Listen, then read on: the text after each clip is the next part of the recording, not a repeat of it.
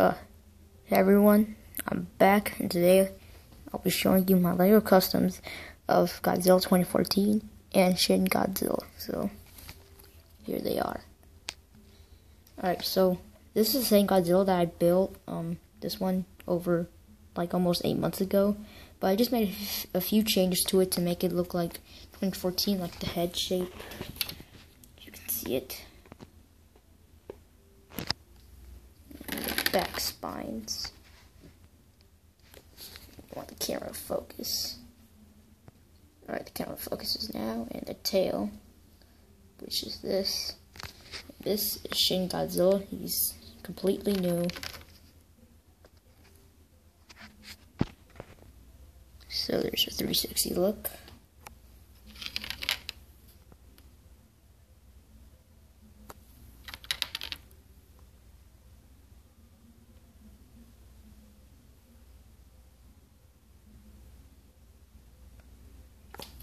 So yeah.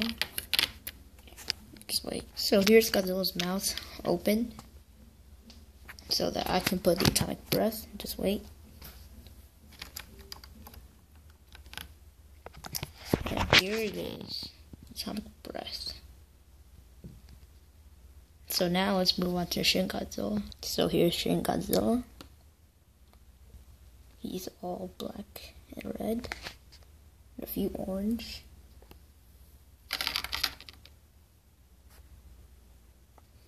Tail.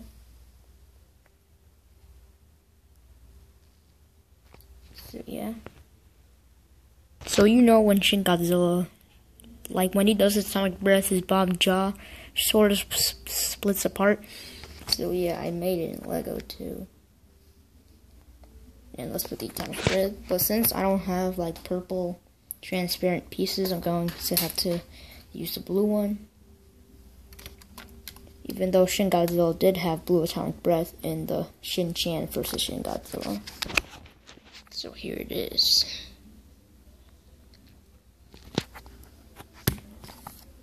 Also, um, I don't really have pieces for when Shin Godzilla, like, does his proton beams in the back, but I do have one for his tail.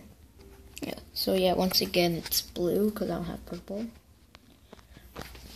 So yeah. Gonna just get that's all 2014 in here.